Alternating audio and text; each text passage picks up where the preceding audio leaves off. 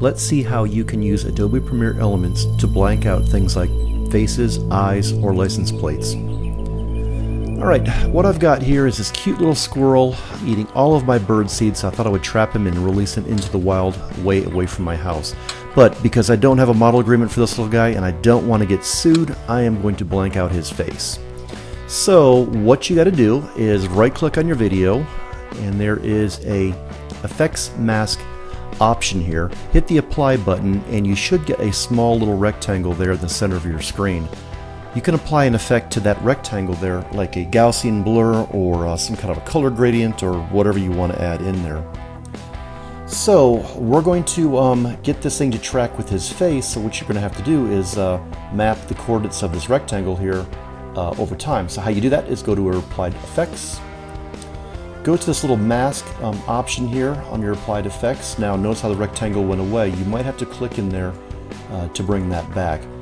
Now you have a top right, uh, bottom right, uh, bottom left uh, corners that you can map.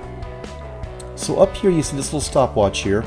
This allows you to add a keyframe to every point in time. So uh, all along this small video uh, clip here, you can add where you want these four corners to be at each time segment. So what you're going to have to do is advance cursor and, and map everything. So again, the little rectangle went away, so I'm going to have to click the mask again to bring it back. Now sometimes it doesn't come back. You gotta fight with this thing and uh, do it a few times to get the thing to actually display. I, don't know why they have a little uh, don't have a little eyeball thing up here somewhere to uh, to show and disable that, but it is what it is. Alright, so you're going to have to click all these four little stopwatches right here to turn on keyframe mapping. And we're going to move this thing, picking uh, the center of it, right in Mr. Squirrely's um, center of his face. I'm going to drag these uh, corners here to get just his, his face. Now, at that point in time, all of these settings were remembered. So what you're going to do is you're going to drag your cursor over a little bit, and when he starts to move, you are going to have to move your rectangle down to wherever he moved to, and it's going to blank out that thing. Now, there's no effects on here again, so that's why you don't see anything. We'll add those a little later on, but first we want to get the uh, the mask to track with his face. Then he moves up just a little bit over here, so we want to make sure we, we get all of this, because I know Mr. Squirrel has a really good lawyer, and they're going to come after me. And we'll move this uh, maybe around here, just a little closer, so maybe we'll make it a little bit bigger to mask out much more of his face. And then, oops, he jumps back up here, and we can move the uh, rectangle corners wherever we want to get this thing to, uh, to meet the size of his face. Now, you might have seen me fumble around with these corners here. These are not easy to grab here. You're just going to have to be very gingerly with it and patient with the uh, these handles here. They're just not the best in the world. And he's starting to look at me, and uh, he knows he wants it real bad. He sees more nuts in the back of the uh, trap there. And uh, he's going to go in for it, and in a second he's going to um, make his move for the nuts. All right, I think you get the idea here. And you can see all these keyframes that we have in here to map exactly where that mask goes. So when I play this thing, watch the little rectangle. Well, you can't see it, I guess. I'll have to apply an effect to it. All right, so let me stop this thing and let's unapply an effect. So we're going to go to our effects uh, pane and we're going to find something like a blur, maybe a maybe a Gaussian blur. I'm going to drag it on top of that uh, masking effect and it's going to add a slight blur to it. Now there's not much there, so we're going to crank this thing way, way up to blur everything out.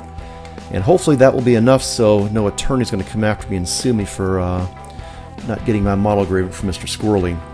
And you can see how I've kind of missed some of these uh, little uh, areas where the, the mask isn't exactly following Mr. Squirrely. But my video editor might not be keeping up with it. Now you can see how I made a kind of a real bad uh, map there. So what we're going to do is we're going to fix that. So we're going to go back here, and he doesn't actually go down that fast. So right in here, he's still up here. And then he's still up here. So you can actually edit in um, points in between ones that you've just added. Wherever your cursor is, if uh, there's nothing there, it'll add a keyframe there. You can see it adding these a bazillion little keyframes in here.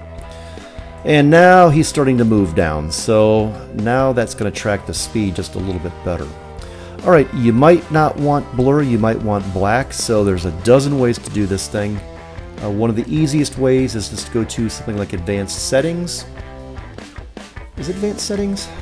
There's a channel. Nope, nope, hang on, it is color correction maybe? Image control.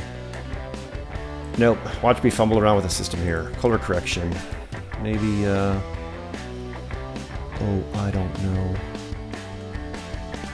Image control. Then let's grab image control, drag it on that same mask um, at a effect that we added, and we're going to crank maybe the brightness all the way down, maybe the contrast, doesn't really matter at this point because the brightness is all the way down. Now, you don't have to track the, um, the image control with it because it's applied to the uh, box it's already moving around. So really the, the beauty is, is once you get your, um, your, your keyframe mask moving around, then you just apply effect to that moving object, and it does what it needs to do. Now, I got lazy here at the end. I didn't finish that up, so I'll just, we can finish that up if we wanted to, but I think you get the idea on how to use uh, masking to uh, follow something around. This is great for if you've got um, uh, a subject uh, that you don't have a model agreement, you want to blank their face out, or a license plate if you're doing something like that. Uh, there's a variety of reasons where you would use this. I hope you learned something. Thanks for watching.